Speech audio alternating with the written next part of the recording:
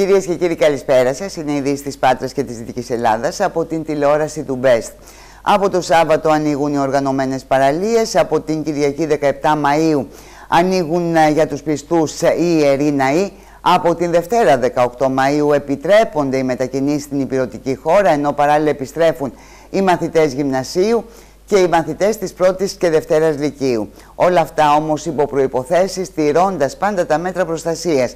Κατά τη διάρκεια της ενημέρωσης του Υπουργείου Υγείας έγινε σαφές από τον λοιμοξιολόγο Σωτήρη Τσιόδρα ότι ο κορονοϊός είναι δίπλα μας. Όταν ένας ιός όπως αυτός εμφανίζεται για πρώτη φορά στην ανθρωπότητα και δεν υπάρχει γενικά ανοσία στον πληθυσμό, ούτε αποτελεσματικό προς το παρόν εμβόλιο, είναι πολύ δύσκολο να προβλέψεις για πόσο καιρό θα κυκλοφορεί ο ιός.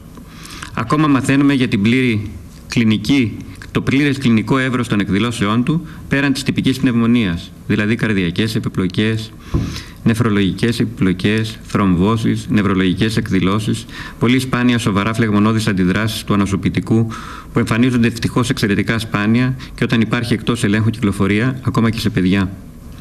Άρα εξακολουθεί να υπάρχει ανάγκη σε παγκόσμιο επίπεδο να τον περιορίσουμε, να τον αντιμετωπίσουμε. Το ότι η Ελλάδα περιόρισε την κυκλοφορία του ιού, πως όλοι μαζί δεν τον αφήσαμε να κάνει τη δικιά του ανεξέλεγκτη διαδρομή, δεν σημαίνει πως τον εξαφανίσαμε. Ο ιός θα συνεχίσει να κυκλοφορεί, ίσως ακόμη και μετά την ανακάλυψη ενός επιτυχημένου εμβολίου, όπως παραδείγματος χάρη κάνουν οι ιοί της γρήπης. Για την Λαρά έχουμε επιτυχημένα εμβόλια και όμως δεν έχει εξαφανιστεί ακόμα εντελώς και λόγω της δυσπιστίας, λόγω των fake news για τα εμβόλια. Όπως είπαν αξιωματούχοι του Παγκόσμιου Οργανισμού Υγείας, η διαδικασία για μαζικό εμβολιασμό των πληθυσμών της γης έναντι του κορονοϊού μοιάζει σαν αποστολή για το φεγγάρι. Έχει εξαιρετικά δύσκολη διαδικασία και σημαντικές λεπτομέρειες, ακόμα και για την παραγωγή και κατανομή των δόσεων όταν έχουμε ένα εμβόλιο. Κανείς λοιπόν δεν μπορεί να αποκλείσει την πιθανότητα να γίνει αυτός ο ιός άλλος ένας ενδυμικός ιός. Τι σημαίνει ενδυμικός; Με απλά λόγια σημαίνει πως θα κυκλοφορεί για αρκετό καιρό ανάμεσά μας, χωρίς να χρειάζεται να εισαχθεί από κάποια άλλη χώρα ή περιοχή, χωρίς ποτέ να φτάνει στο μηδέν όλη αυτή την περίοδο. Λαμβάνοντας όλα τα απαραίτητα υγειονομικά μέτρα, αφού ο ιός είναι εδώ και κυκλοφορεί ανάμεσά μας, προχωράμε στη νέα μας καθημερινότητα. Από τη Δευτέρα 18 Μαου επιτρέπονται, όπως γνωρίζετε, οι μετακινήσεις στην υπηρετική Ελλάδα και την Κρήτη. Επιτρέπεται δηλαδή η μετακίνηση πολιτών σε όλη την Ελλάδα μεταξύ νομών και περιφερειακών ενωτήτων. Επειδή υπάρχουν σχετικά ερωτήματα, να διευκρινίσουμε ότι επιτρέπεται και η μετακίνηση στην Εύβοια η Λευκάδα, η Ελαφώνησος ορίζονται ως νησιωτικοί προορισμοί. Ως εκ τούτου η μετακίνηση σε αυτούς τους προορισμούς όπως και στα υπόλοιπα νησιά θα επιτραπεί αν όλα πάνε καλά και το τονίζουμε εφόσον το επιτρέψουν τα δεδομένα από τις 25 Μαΐου. Επίσης, τη Δευτέρα ανοίγουν τα ζωολογικά πάρκα και οι βοτανικοί κήποι, επαναλειτουργούν οι αρχαιολογικοί χώροι, ξεκινούν οι πρόβες και τα κινηματογραφικά γυρίσματα, πάντα με αυστηρούς κανόνες προστασίας. Οι δρόμοι μπορεί να οδηγούν στις παραλίες λόγω και της ανόδου της θερμοκρασίας, όμως καθένας θα πρέπει να κουβαλά την ξαπλώστρα του μαζί. Στην Αχαΐα λόγω κτηματικής, όπως είπαμε και χθες μέσα από το δελτίο ειδήσεων της τηλεόρασης του Best, οι ξαπλώστρες δεν τοποθετούνται και όσα παραλιακά καταστήματα ανοίξουν θα λειτουργούν ως take away. Τα νέα δεδομένα προκαλούν αντιδράσεις στο χώρο των επαγγελματιών του κλάδου. Οι υψηλές θερμοκρασίες οδηγούν στην παραλία, με αποστάσεις όπως βλέπετε στην πλάζ της Πάτρας και χωρίς ξαπλώστρες στα καταστήματα. Ξαπλώστρες δυστυχώς δεν θα δούμε σύντομα ακόμα και στα παραλιακά καταστήματα που θα ανοίξουν το Σαββατοκύριακο. Η προετοιμασία ξεκίνησε μεν, αλλά θα εξυπηρετούν μόνο take away. Είμαστε έτοιμοι να ανοίξουμε την οργανωμένη μας παραλία, την κοντινότερη στο, στο κέντρο της πόλης Έχουμε βάλει τις ομπρέλες μας σε απόσταση παραπάνω από 4 μέτρα. Σε κάθε ομπρέλα θα υπάρχουν δύο ξαπλώστρες. Ε, έχει γίνει απολύμανση και μικροβιακή απολύμανση. Ε, πιστεύουμε ότι σιγά σιγά ο κόσμος θα αρχίσει να βγαίνει και ε, θα έχουμε σιγά σιγά, θα επανέλθουμε σιγά σιγά στους ρυθμούς στους οποίους βρισκόμαστε πριν. Θα πρέπει να εκδοθεί κοινή υπουργική απόφαση και στη συνέχεια η κτηματική υπηρεσία να κάνει τους απαραίτητους ελέγχους και να δώσει άδειες. Πιστεύουμε ότι το μαγαζί το δικό μας είναι ακίνδυνο ή λιγότερο επικίνδυνο για τη μετάδοση, μια και οι αποστάσεις θα τηρηθούν και θα είναι όπως έχουν κανονίσει οι δημοξιολόγοι προκειμένου να αποφύγουμε προβλήματα. Τα καταστήματα υγειονομικού ενδιαφέροντος θα λειτουργούν αποκλειστικά με διάθεση προϊόντων σε πακέτο. Τα προϊόντα τους θα πολλούνται μόνο συσκευασμένα και απαγορεύεται η παρασκευή τους στο χώρο. Απαγορεύεται η διάθεση και πώληση αλκοολούχων ποτών. Απαγορεύεται επίσης το delivery στα σημεία αυτά. Δεν επιτρέπεται η ανάπτυξη τραπεζοκαθισμάτων στο χώρο του καταστήματος. Η ελάχιστη απόσταση μεταξύ των πελατών που περιμένουν να εξυπηρετηθούν ορίζεται στο 1,5 μέτρο. Υπάρχει επίσης ισχυρή σύσταση για χρήση μάσκας από τους εργαζόμενους. Διαδικτυακή συνέντευξη τύπου έδωσε σήμερα ο Περιφερειάρχης Δυτικής Ελλάδας Νεκτάριος Φαρμάκης για τα έργα και τις δράσεις που θα υλοποιηθούν στο πλαίσιο του προγράμματος δημοσίων επενδύσεων καθώς επίσης και τις τροποποιήσεις και τις καινοτομίες που αυτό περιέχει μετά την αναμόρφωση και ψήφισή του από το Περιφερειακό Συμβούλιο. Τη συνέντευξη παρακολούθησε ο συνάδελφος Γιώργος Ηλιόπουλος, ο οποίος θα μας ενημερώσει. Καλησπέρα Γιώργο. Καλησπέρα. Λοιπόν, τι έχουμε από την ε, ε, συνέντευξη, μια ε, συνέντευξη που έτσι διαφορετική από αυτές που έχουμε συνηθίσει διαδικτυακή. Ήταν η πρώτη συνέντευξη που έγινε διαδικτυακά από τον Περιφερειάρχη, από τον Νεκτάριο Φαρμάκη. Ε, την παρακολουθήσαμε το, σήμερα το μεσημέρι. Ε, ουσιαστικά ο κ. Φαρμάκης ε, έκανε έναν απολογισμό της μέχρι σήμερα ε, πορείας του στους 8 μήνες που έχει ε, αναλάβει την περιφέρεια Δυτικής Ελλάδος. Επεσήμανε ότι ουσιαστικά ο προϋπολογισμός ε, των έργων είναι στα 600 εκατομμύρια ευρώ, εκ των οποίων τα νέα έργα αφορούν 128 εκατομμύρια ευρώ, τα οποία ο ίδιος ενέταξε. Ε, να επισημάνουμε έφυγε ότι ο κ. Φαρμάκης ουσιαστικά έκανε και μια κριτική στην προηγούμενη περιφερειακή αρχή λέγοντας ότι τα έργα τα οποία ο ίδιος παρέλαβε δεν ήταν όρημα και αυτό έχει ως αποτέλεσμα να μην μπορούν να προχωρήσουν. Ε, ξεκαθάρισε ότι δεν ήθελε να κάνει κάποια μικροπολιτική, όμως ήταν κάτι το οποίο έπρεπε να επισημάνει όπως ο ίδιος είπε ε, και να εξηγήσει τον λόγο για τον οποίο τα συγκεκριμένα έργα δεν έχουν προχωρήσει. Λαμβάνοντα λοιπόν υπόψη. Ποια έργα είναι αυτά, αναφέρθηκε στο ποια έργα είναι αυτά, Γιώργο. Ε, δεν αναφέρθηκε ε, αναλυτικά. Επεσήμανε όμως ότι η πλειονότητα των, των έργων που ο ίδιος παρέλαβε δεν ήταν όρημα. Και τι έκανε λοιπόν η νέα Περιφερειακή Αρχή, ε, προτίμησε να, ε, δεν ε, θέλησε να τα απεντάξει, κάτι το οποίο θα ήταν πολύ εύκολο για εμάς, προτίμησε να προχωρήσει τις ανάλογες διαδικασίες και να, να τα καταστήσει ε, όρημα ώστε και αυτά να προχωρήσουν μαζί με τα υπόλοιπα έργα τα οποία ε, έχει ε, αναλάβει η Περιφερειακή Αρχή να υλοποιήσει. Να σημειώσουμε έφυγε ότι ουσιαστικά ε, τονίστηκε ότι υπήρχε μια ψαλίδα ε, μεταξύ έργων και πληρωμών της τάξης του 35%.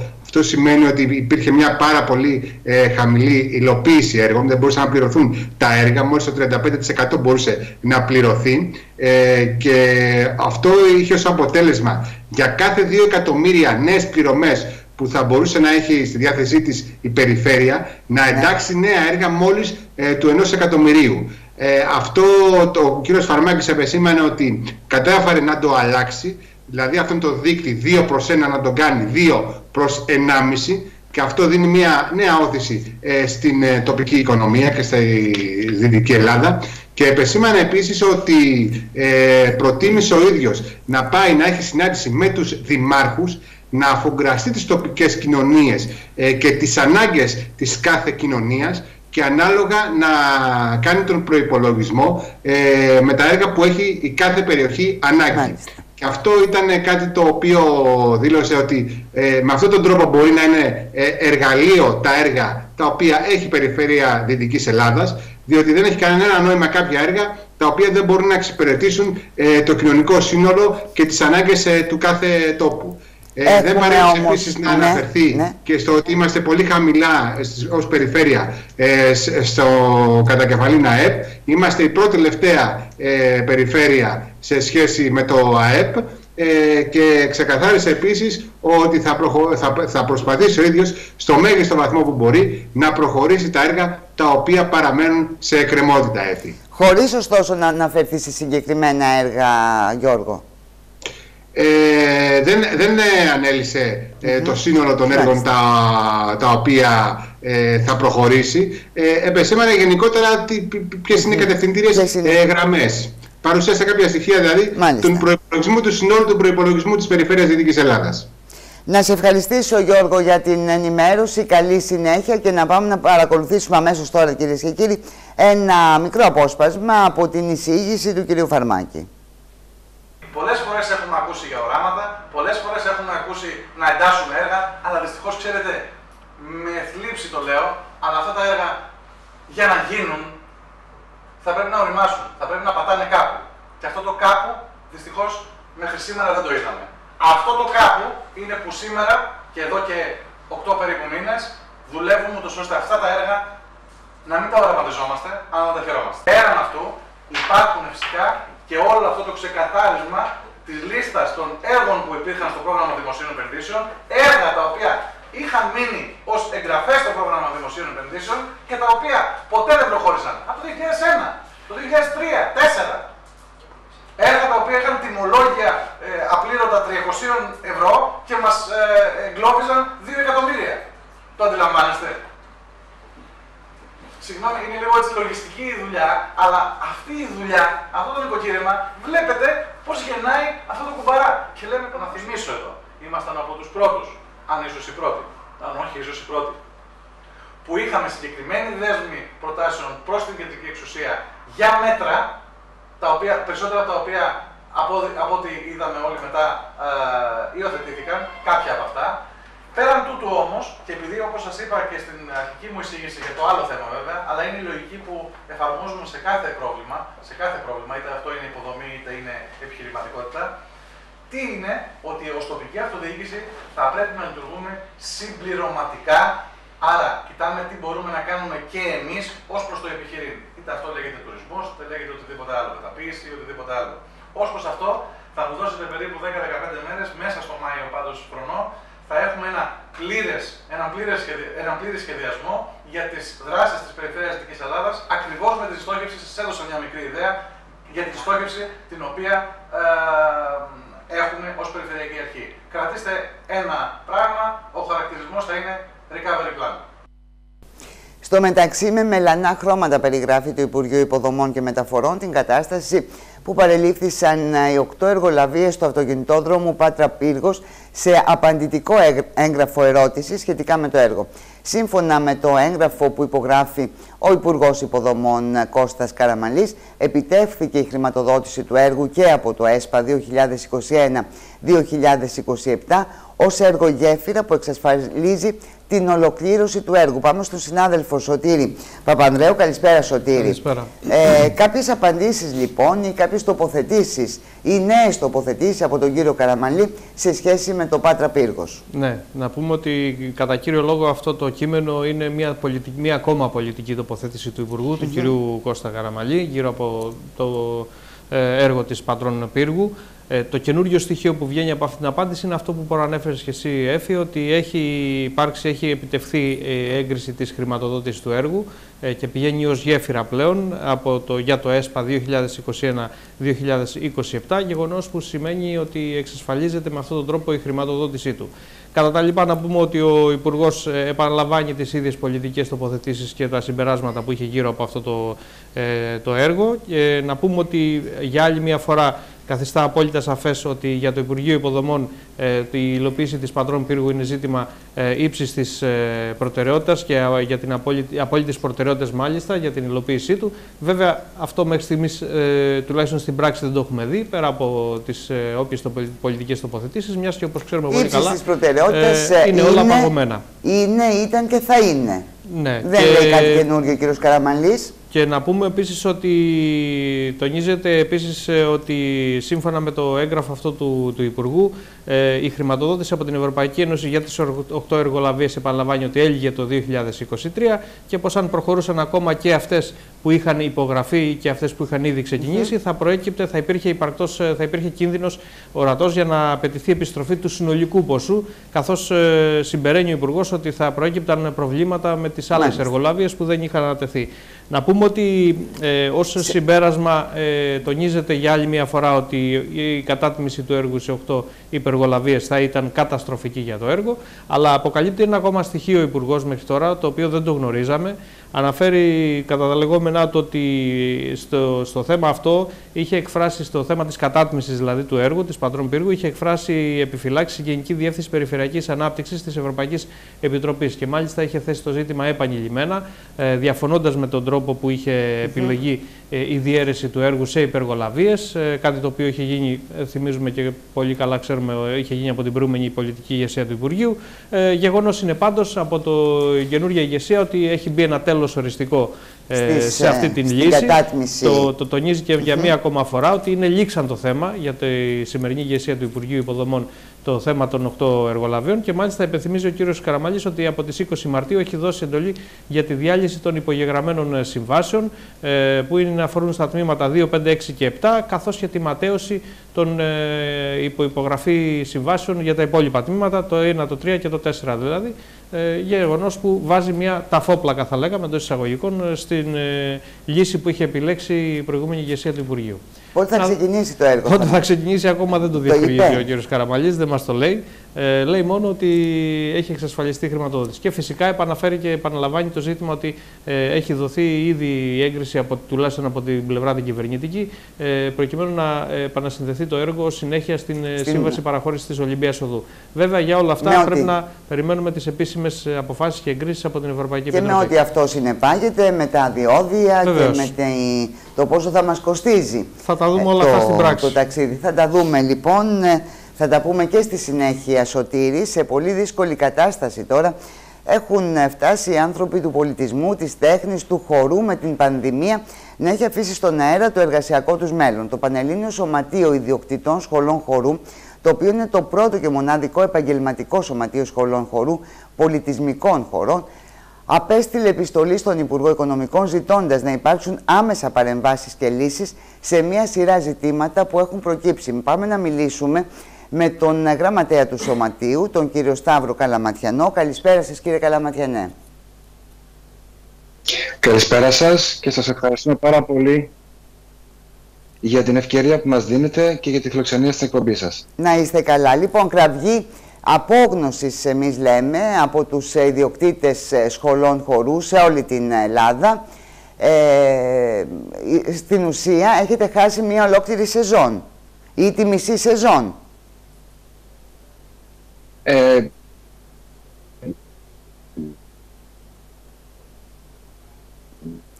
δεν ακούμε τον κύριο Καλαματιανό. Δεν σας... σας Υπάρχει κάποιο πρόβλημα, Όσο... κύριε... Ότι είστε πρώτοι που το αντιλαμβάνεστε. Η πολιτική δεν το καταλάβω, είπατε. Χάστη ε, δεν σας ακούσαμε. θα σας καλέσουμε και πάλι κύριε Καλαματιανίνη γιατί υπάρχει πρόβλημα στη σύνδεση. Δεν σας ακούμε. Να, θα επιστρέψουμε λοιπόν στο θέμα αυτό καθώς ε, και εδώ στην ε, περιοχή της Πάτρας ε, απασχολεί τους ιδιοκτήτες σχολών χορού γύρω στις 25 σχολές χορού, επαγγελματικές σχολές χορού λειτουργούν στην περιοχή της Πάτρας και οι εργαζόμενοι που απασχολούνται σε αυτές υπερβαίνουν τους 50. Ε, Η κυβέρνηση τώρα προσανατολίζεται, να πούμε κυρίες και κύριοι, στην εφαρμογή του γερμανικού μοντέλου επιδότησης της μερικής απασχόλησης, όπου το κράτος θα καλύπτει μέρος του μισθολογικού και ασφαλιστικού κόστους των εργαζομένων, οι οποίοι δεν θα απασχολούνται πλήρως, αλλά εκ περιτροπής λόγω κορονοϊού. Με αυτήν τη λογική ο εργοδότης γλιτώνει το 50% του μισθολογικού κόστους, ενώ ο εργαζόμενος διατηρεί τη θέση του, λαμβάνοντας όμως χαμηλότερες αποδοχές. Στο Σωτήρι Παπανδρέου και πάλι, Σωτήρι. Ναι, Εφή, ξέραμε ότι για την ε, αναστολή ε, λειτουργίας ε, χιλιάδων επιχειρήσεων, αλλά και για ακόμα περισσότερες επιχειρήσεις που μπήκαν, που μπήκαν στην, στο καθεστώς των πληγισών επιχειρήσεων, έχει εγκριθεί ήδη ε, ένα ειδικό επίδομα για τους εργαζομένους αυτών των κατηγοριών ύψους 800 ευρώ. Έχει ήδη δοθεί στους περισσότερους, απομένουν κάποιες λίγες κατηγορίες, κυρίως επαγγελματίες ε, και ε, ατομικές επιχειρήσεις. Και βέβαια έχουμε και το υπόλοιπο ποσό που θα δοθεί, θα πληρωθεί σε όλους mm -hmm. αυτούς τους εργαζόμενους για το μία, μήνα Μάιο. Είναι ένα ποσό 535 ευρώ, το οποίο στην ουσία για τους περισσότερους δεν είναι τόσο, θα είναι ακόμα λιγότερο, θα είναι γύρω στα 350 ευρώ. Έτσι, έτσι πάει αναλογικά, ναι. ανά ημέρα και ανα, ανάλογα με το πότε ε, ξεκίνησε κάθε επιχείρηση να πλήττεται ή να κλείνει. Ε, Τέλος πάντων, αυτά είναι λεπτομέρειες. Να πούμε από εδώ και στο εξής τι γίνεται. Από εδώ και στο εξής υπάρχει μια τεράστια αβεβαιότητα για το μέλλον χιλιάδων εργαζομένων. Ξέρουμε ότι ε, όσες επιχειρήσεις μπήκαν σε αυτό το πρόγραμμα έχουν ένα χρονικό περιορισμό 45 ημερών ε, προκειμένου να μην προβούν σε απολύσεις. Ε, ωστόσο, ξέρουμε πάρα πολύ καλά και καταλαβαίνουμε ότι μετά την ε, έλευση αυτού του χρονικού διαστήματος ε, είναι πιθανό να δούμε μεγάλη επιβάρυνση στην αγορά εργασίας, πολλές απολύσεις δηλαδή, γιατί πάρα πολύ απλά πολλές επιχειρήσεις έχασαν τεράστιο τζίρο, δεν έχουν πώ να τα φέρουν γύρω και, ε, και θα οδηγηθούν εκεί εκ των πραγμάτων.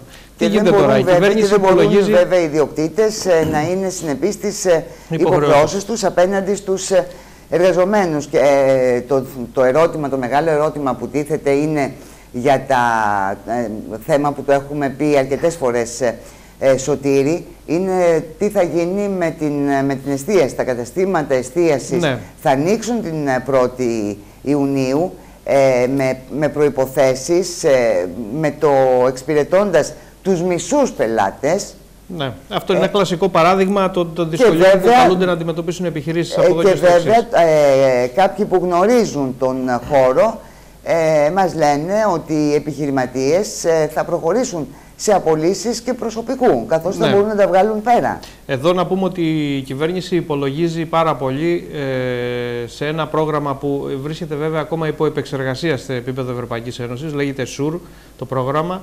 Ε, έχει αυτό ακριβώς το στόχο να υποστηρίξει τις κυβερνήσεις του κάθε κράτους μέλους της Ευρωπαϊκής Ένωσης ώστε να χρηματοδοτήσουν με τη σειρά τους τουλάχιστον μέχρι το 50% το, το, του μισθού ενός εργαζόμενου προκειμένου φυσικά να μην ε, απολυθεί από την επιχείρηση. Εδώ υπάρχουν όμως πάρα πολλές λεπτομέρειες που ακόμα δεν τις γνωρίζουμε. Ε, Πάντως, σήμερα ο Υπουργός Εργασίας, ο κ. Βρούτσης, ανακοίνωσε ή μάλλον έκανε δηλώσεις και είπε ότι θα ακολουθήσει αυτό το αυτό το, το πλαίσιο, το οποίο ήδη εφαρμόζεται στη Γερμανία και αν λάβουμε υπόψη μας τι γίνεται στη Γερμανία, κάτι ανάλογο θα δούμε να εφαρμόζεται και στη χώρα μας. Να πούμε ότι ε, όσοι εργαζόμενοι θα μπουν σε εκπεριτροπής mm εργασίας, εργασία και θα είναι πάρα πολλοί, από εδώ και στο εξής, ε, θα, θα καλεί το εργοδότης να πληρώνει το 50% του μισθού του εργαζομένου και το υπόλοιπο 50% δεν θα καλύπτεται εξ ολοκλήρου, θα καλύπτεται μέχρι ένα ποσοστό μεγάλο. Μέχρι ένα ποσοστό 60% δηλαδή του μισθού. Αυτό, όπως καταλαβαίνεις, είναι ε, ένα κούρεμα κανονικό στο, στο μισθό το, των, ε, των εργαζομένων.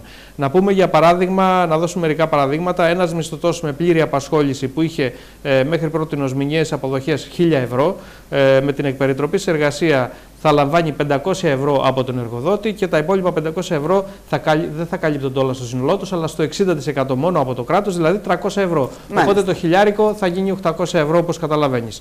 Κατά ανάλογο τρόπο, ένας εργαζόμενος των 800 ευρώ θα καταλήξει να παίρνει 600, ε, 640 ευρώ στο τέλος του μήνα, γιατί τόσο βγαίνει μαζί με, το, με την συμμετοχή του εργοδότη και την ανάλογη συμμετοχή του κράτους.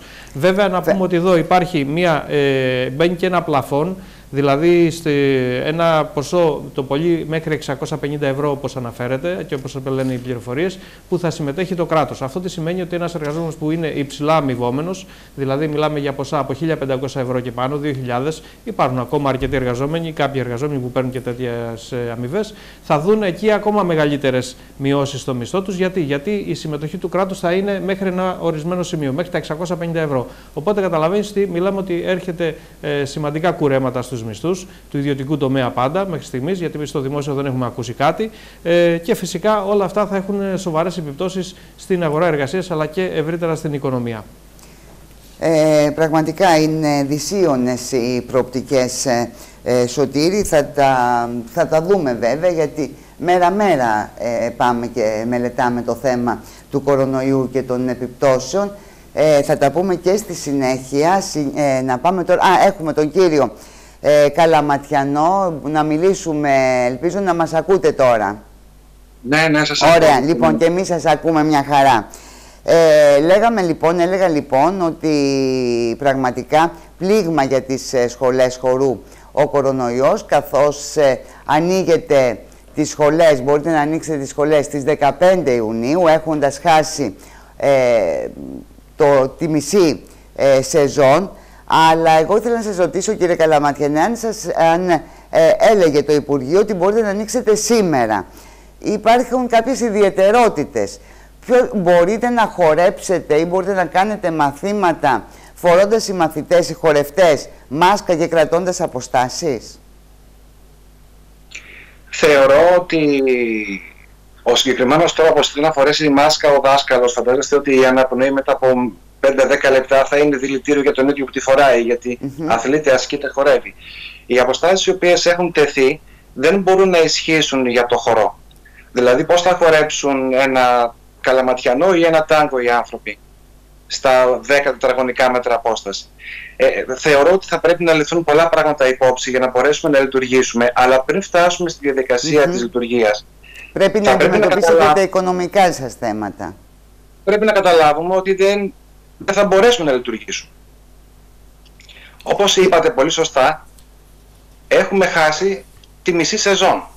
Ξεκινάμε να εργαζόμαστε σε νεκρή περίοδο. Είναι δηλαδή σαν να έχουμε κλείσει τα εκνοδορικά μας, τα εκνοδορικά μας κέντρα το χειμώνα και τα ανοίγουμε το καλοκαίρι και λέμε ανοίξτε μπορείτε να εργαστείτε. Δεν γίνεται. Για εμάς ο κοροναϊός δεν είναι τρεις μήνες, είναι επτά. Κατανοητό. Ε, με επιστολή σας στον Υπουργό Οικονομικών ζητάτε να, γίνουν, ε, να ληφθούν μέτρα για την στήριξη των σχολών. Τι μέτρα ζητάτε, τι ζητάτε κύριε Καλαματιανέ ως σωματείο; Ζητάμε μέτρα πραγματικής στήριξης.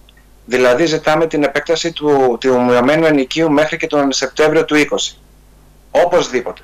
Ζητάμε την επέκταση της βοήθειας αυτής της οικονομικής, αν και πενιχρής για τις επιχειρήσεις, γιατί δεν μπορέσαμε να καλύψουμε ούτε τα πάγια έξοδά μας, όχι να φέρουμε χρήματα στις οικογένειές μας με τα 400 ευρώ που μας έδωσαν το μήνα βοήθεια. Πρέπει λοιπόν να επεκταθεί το μέτρο αυτό της βοήθειας μέχρι τον Σεπτέμβριο του 20 και να διπλασιαστεί ή να τριπλασιαστεί σε ιδανική περίπτωση. Ζητάμε να παγώσουν οι εισφορές οι ασφαλιστικές, οι, τα, οι λογαριασμοί της ΔΕΗ, της ΕΙΔΑ, τα δημοτικά τέλη. Δεν εισπράττουμε ένα ευρώ, δεν μπορούμε να πληρώσουμε ούτε ένα ευρώ. Από τον Μάρτιο, αρχές Μαρτίου μέχρι τέλη Σεπτεμβρίου του 20 θα συλλέγουμε μόνο χρέη. Ζητάμε την, ε, το δικαίωμα και την πρόσβαση σε κονδύλια ευρωπαϊκά και εθνικά με θέμα τον πολιτισμό. Ζητάμε να, να ακούγεται ναι. η φωνή μας στη διαμόρφωση των πακέτων βοήθειας, να συνεργαστούν με τα, ε, τα συνδικαλιστικά μας όργανα, για να μπορέσει να βγει μια πραγματική ε, βοήθεια για τις επιχειρήσεις. Γιατί δεν είμαστε μόνο εμείς. Είναι πάρα πολλοί. Είναι πάρα πολλές επιχειρήσεις οι οποίες συνδέονται με εμάς. Μιλάμε για περισσότερους από 3-5.000 εργαζόμενους σε εμάς. Δηλαδή, και αντιμετωπίζουμε μια καταστροφή. Εάν δεν υπάρξουν μέτρα, θεωρώ ότι το 75% των σχολών χορού δεν θα ανοίξουν τον Οκτώβριο.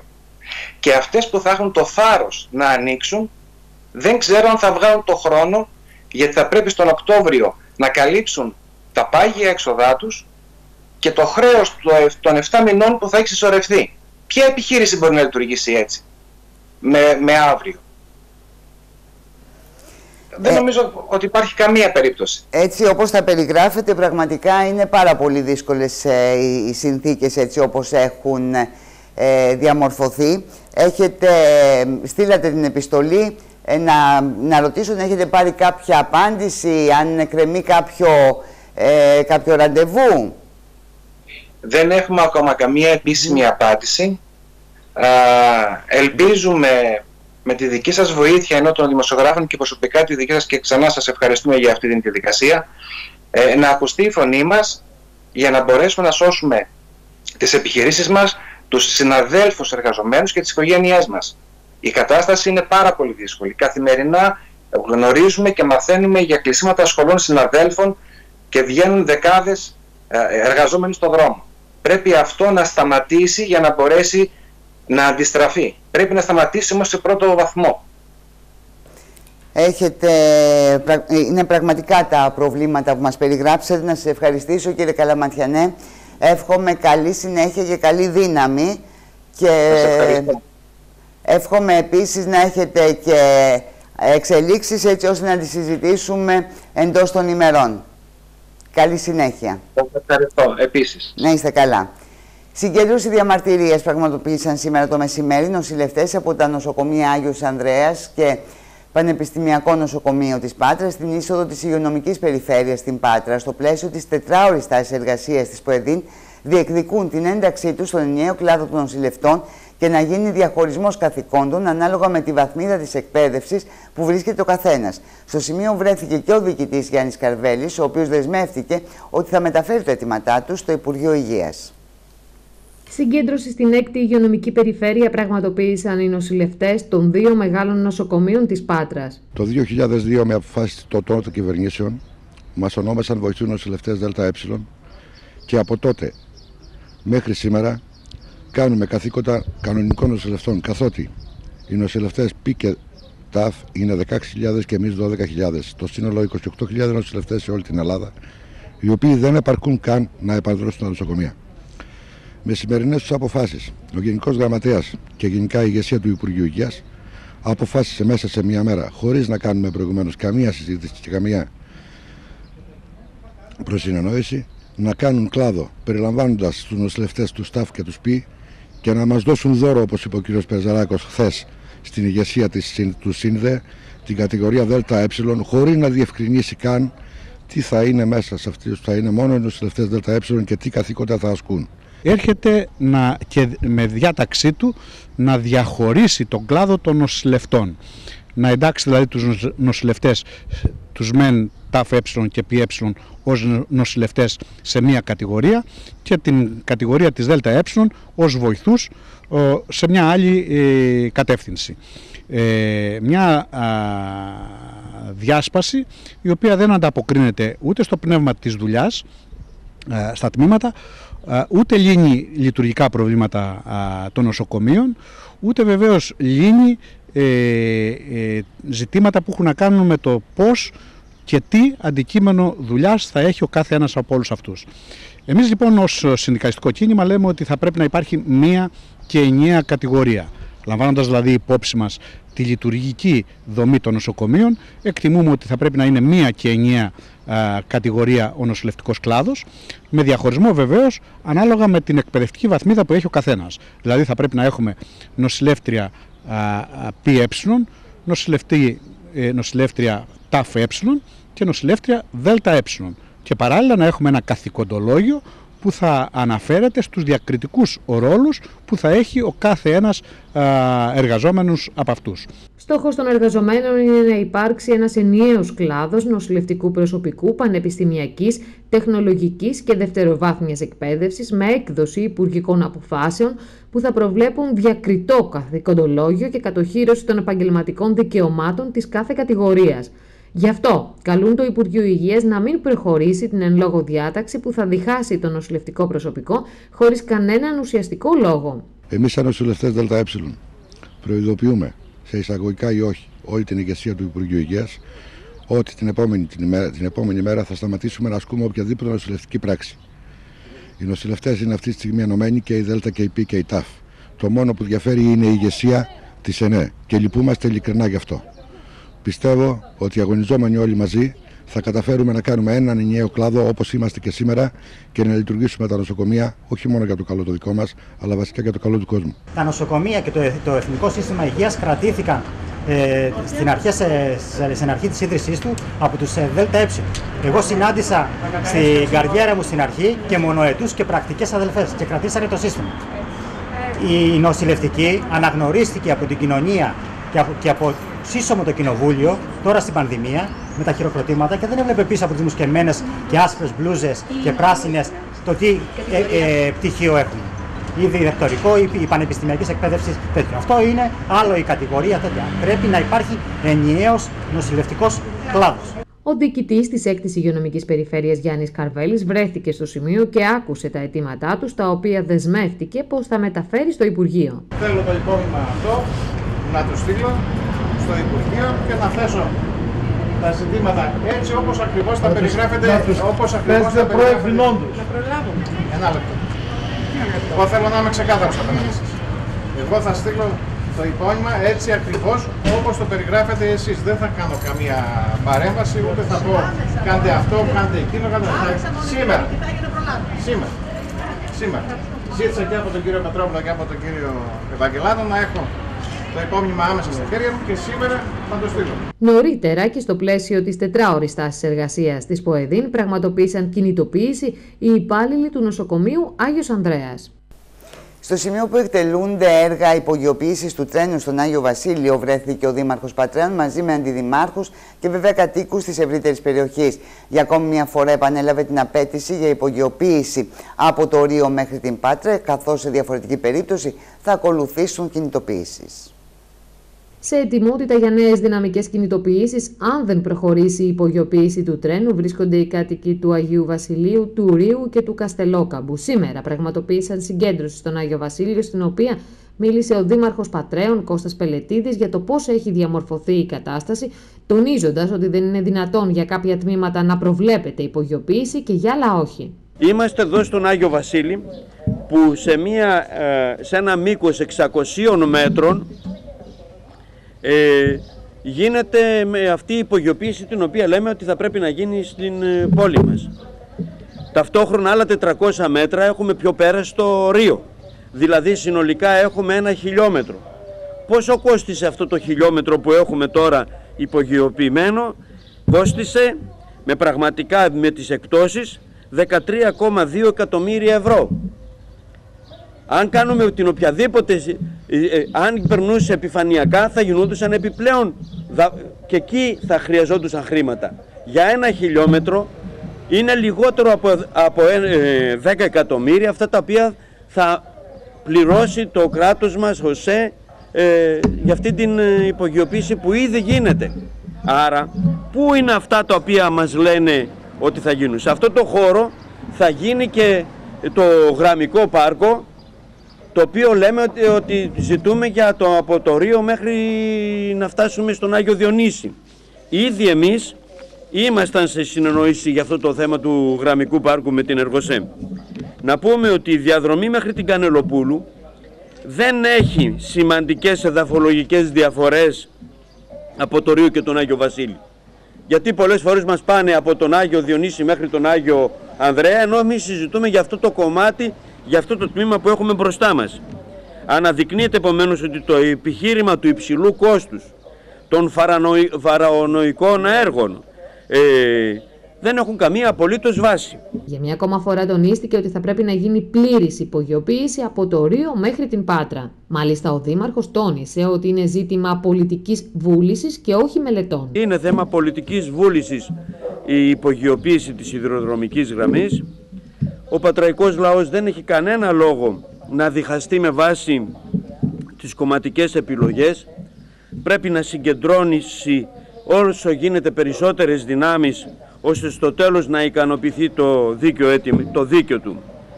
Καλούμε για μια ακόμα φορά την κυβέρνηση να προχωρήσει άμεσα σε όλα εκείνα τα μέτρα που απαιτούνται για να υλοποιηθεί ο σχεδιασμός της υπογειοποίησης. Είναι ένα αίτημα δίκαιο, του πατραϊκού λαού με βάση τους δικούς τους σχεδιασμούς να ενημερώσουμε το τρένο σήμερα θα έπρεπε να ήταν σε λειτουργία, όχι σε κατασκευή, σε λειτουργία μέχρι το νέο λιμάνι. Το γεγονός ότι δεν έχει προχωρήσει είναι αποκλειστικά δική τους ευθύνη. Το γεγονός ότι ακόμα βρίσκεται στο κιάτο δεν οφείλεται στον πατραϊκό λαό και στους αγώνες του και στο αίτημά του.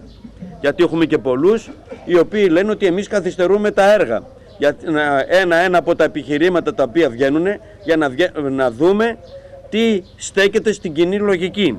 Το συγκεκριμένο σημείο της συνέντευξης δεν επελέγει τυχαία. Επελέγει διότι εκεί γίνονται έργα υπογειοποίησης, κάτι που θα πρέπει να γίνει και στο υπόλοιπο τμήμα όπως απαιτεί η Δημοτική Αρχή. Αλλάζουμε θέμα και πάμε στην συνάδελφο Ελένη Παρασκευοπούλου, καθώς έχουμε καμπάνα. Καλησπέρα Ελένη 5.000 ευρώ σε πολίτη που έσπασε την ε, καραντίνα. Καλησπέρα Εφη, κυρίες και κύριοι. Ακριβώς ε, όλα συνέβησαν να πούμε στην ε, Πάτρα. Ένας ε, πολίτης που σύμφωνα με τις ε, πληροφορίες είχε επιστρέψει από το εξωτερικό πριν από πολύ λίγες ε, ημέρες. Όπως γνωρίζουμε όποιος επιστρέφει από το εξωτερικό θα πρέπει να παραμείνει σπίτι του για 14 ημέρες. Ήταν κάτι το οποίο και ο ίδιος γνώριζε. Επέστρεψε από περιοχή μάλιστα που, είναι, που έχει πληγεί πάρα πολύ βαριά από τον κορονοϊό, από χώρα που έχει πληγεί πάρα πολύ βαριά. Ε, εντοπίστηκε ωστόσο να κυκλοφορεί ε, στην Πάτρα και γι' αυτό υπήρξε σύλληψη και πρόστιμο 5.000 ευρώ. Να πούμε ότι η όλη διαδικασία ε, υπήρξε ο έλεγχος από την αστυνομία, έγινε ταυτοποίηση ε, από την Γενική Γραμματεία Πολιτικής Προστασίας και μετά το επιβλήθη και το πρόστιμο των 5.000 ευρώ. Ήταν γνωστό ότι όποιος ε, σπάει την καραντίνα θα ναι, ναι. καλείται να πληρώνει τσουχτερό δεν ισχύει Κάτι διαφορε... Ναι, ναι, δεν ισχύει να πούμε κάτι διαφορετικό. Ε, τα μέτρα αυτά ισχύουν. Όποιος επιστρέφει από το εξωτερικό θα πρέπει να μένει σπίτι του. Ε, είχαμε όμως και πρόστιμα για την μη χρήση μάσκας, ε, Ελένη. Ναι, γενικότερα στην Δυτική Ελλάδα γίνονται έλεγχοι εκεί που είναι υποχρεωτική η χρήση μάσκας, να αναφέρω, όπως ε, στα μέσα μαζικής μεταφοράς. Υπάρχουν καθημερινοί έλεγχοι από την ελληνική αστυνομία σε όλη την Δυτική Ελλάδα και όπου διαπιστώνονται παραβάσεις έχουμε πρόστιμα. Ε, είχαμε και τις, ε, τε, τις τελευταίες ώρες τέσσερα πρόστιμα σε διάφορες ε, περιοχές στη Δυτική Ελλάδα και αυτό που τονίζεται... Σε μέσα ε, μαζικής σε... μεταφοράς, Ελένη. Ναι, σύμφωνα με τις πληροφορίες mm -hmm. πρόκειται για μέσα μαζικής μεταφοράς. Και αυτό που τονίζεται είναι ότι θα πρέπει να τηρούν όλοι τα μέτρα γιατί δεν υπάρχει διαχωρισμός. Είναι αρκετές οι ημέρες που έχουν περάσει που θα έπρεπε όλοι να έχουμε έτσι λίγο προσαρμοστεί σε αυτή τη νέα κανονικότητα. Είναι συγκεκριμένα τα σημεία που προβλέπεται χρήση μάσκας. Καλό θα είναι αφού είναι υποχρεωτικό ε, για να μην κληθούν να πληρώσουν πρόστιμα να φορούν τη μάσκα τους με λίγη υπομονή. Είναι δύσκολο ε, και για, όχι μόνο για να μην πληρώσουν το πρόστιμο, αλλά και για την ε, υγεία όλων μας. Ε, να σε ευχαριστήσω. Εντάξει, ε, ε, υπάρχουν και αυτοί που διαφωνούν με όλα αυτά. Θα πρέπει να σεβαστούμε θα πρέπει το να σεβαστούν καλό. όμως και το, αυτό που ισχύει. Θα πρέπει να ναι, ναι. σεβαστούν τα δεδομένα και αυτό που ισχύει τώρα. Να σε ευχαριστήσω, Ελένη. Ο χώρος του Περιφερειακού Πανεπιστημιακού Νοσοκομείου της Πάτρας ήταν σταθμό σήμερα των μουσικών του Κουιντέτου από το Δημοτικό Όδιο Πολιτιστικού Οργανισμού του Δήμου της Πάτρας. Για μια ακόμη φορά έστειλαν ένα ξεχωριστό μήνυμα αλληλεγγύης και στήριξης των ανθρώπων που βρίσκονται στην πρώτη γραμμή της μάχης με την πανδημία του COVID-19. Είπαν το δικό τους ευχαριστώ στο ιατρονοσηλευτικό προσωπικό με ε, μελωδικούς ήχους.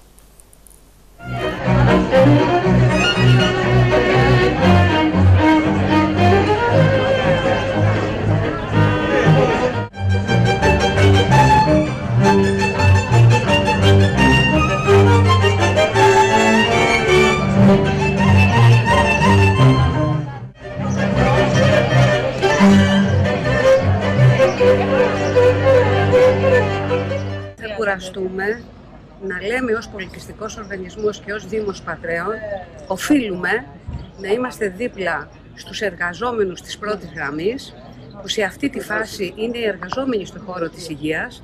Βρισκόμαστε λοιπόν στο Πανεπιστημιακό Νοσοκομείο του Ρίου, που είναι το κέντρο που έδωσε μια σκληρή μάχη το προηγούμενο διάστημα οι γιατροί του, το νοσηλευτικό προσωπικό ή η υγειονομική ε, ενάντια στην πανδημία. Έχουμε επίγνωση ότι σήμερα που μιλάμε η κατάσταση δεν έχει αλλάξει πολύ όσον αφορά ε, τα αναγκαία ζητήματα που αφορούν την αναβάθμιση του δημόσιου τομέα υγείας. Άρα ενώνουμε τη φωνή μας με τους εργαζόμενους, ε, με το ίδιο το συνδικαλιστικό τους κίνημα και λέμε προσλήψεις μόνιμου προσωπικού εδώ και τώρα, χρηματοδότηση από το κρατικό προϋπολογισμό εδώ και τώρα του δημόσιου συστήματος υγείας. Γιατί με την πανδημία, όπως γνωρίζετε, δεν έχουμε τελειώσει.